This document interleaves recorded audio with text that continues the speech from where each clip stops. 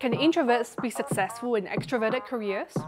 The short answer is yes. Society has a cultural bias towards extroversion, such that extroverted individuals are often associated with positive attributes and outcomes. But why? The strengths of extroversion are highly valued in many social settings, while the strengths of introversion continue to be overlooked in modern society.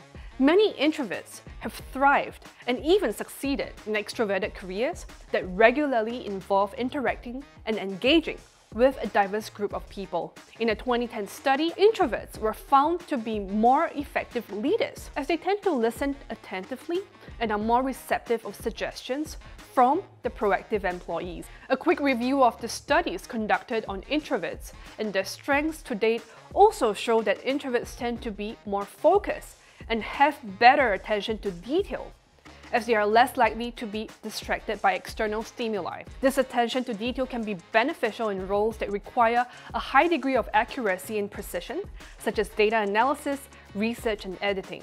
Because introverts listen before they talk, they are also better listeners, which can be a valuable asset in the workplace. Correspondingly, they are also often able to provide thoughtful and insightful feedback and suggestions and are good at mediating conflicts. Introverts tend to be good at analyzing and interpreting information as well because they are often more reflective and tend to think before they speak or act. This can also be beneficial in problem solving and brainstorming as it allows for more possibilities to be considered. Although introverts may not be as comfortable with constant social interactions, they are often able to collaborate well and contribute their own valuable insights and perspectives to their teams. This is because introverts also tend to be more reflective and tend to be aware of the emotions and perspectives of others in their teams.